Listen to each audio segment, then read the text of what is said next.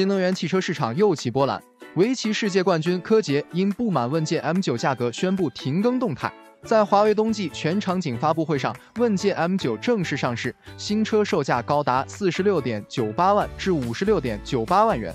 面对这一价格，围棋世界冠军柯洁直言太贵买不起。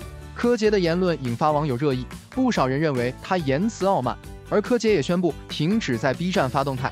这一事件也引发了对于新能源汽车市场的广泛讨论。随着新能源汽车技术的发展，一些国产品牌开始向高端市场进军，推出售价昂贵的车型。问界 M9 作为华为与赛力斯联合推出的旗舰 SUV，预售价格达到了五十至六十万元，已经超越了传统的豪车定价标准。这款车型的设计和功能都是其高价位的重要支撑。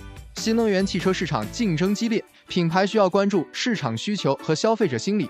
对于消费者来说，选择适合自己的车型才是最重要的。